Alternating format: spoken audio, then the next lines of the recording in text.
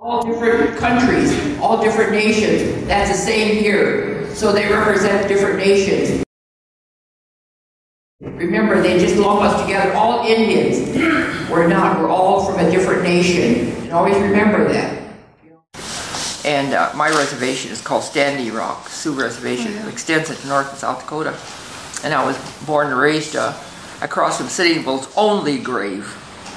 And the South Dakota eventually took some soil and said they created his grave in South Dakota, but he's North Dakota.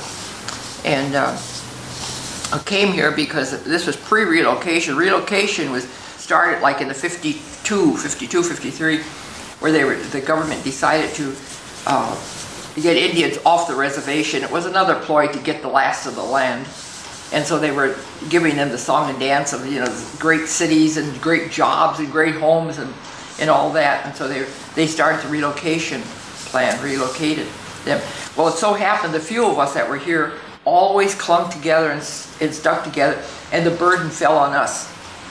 The burden fell on us because before going back to the agency, they had come to one of us because their parents would say, oh, such and such is there, remember, this is her address or his address, and most of us didn't have phones, so they'd have to come, you know, to our, to our place. And we just had rooms, usually we didn't have apartments.